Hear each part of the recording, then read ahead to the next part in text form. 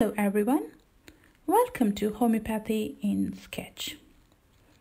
My name is Dr. Sarah, and today you will be learning about Ignatia ailments from.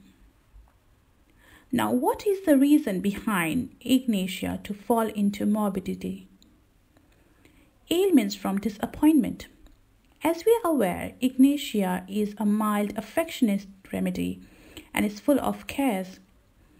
And due to that, as the time passes, she gets treated as a maid. Things are not as they were before, and she falls into disappointment. Ailments from honor wounded. Honor means quality, it's a respect, it's something to be proud of, or an honesty. And if that is wounded, she falls into morbidity. Ailments from reproaches. Now, what is reproach? Reproach means criticism. The criticism which has been made over and over again. Ailments from reprimands.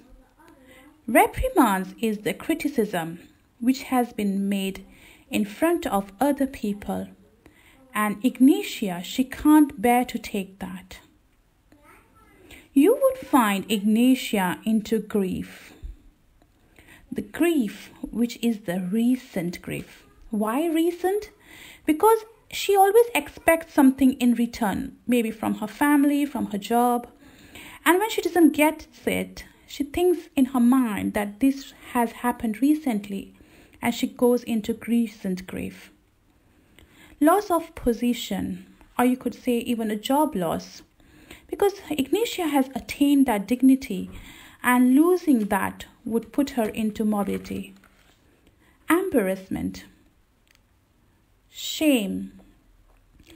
Ignatia, she self analyzes herself to be a person who is no good. She finds herself to be unworthy.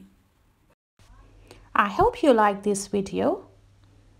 Please like and subscribe to Homeopathy in Sketch. Thank you.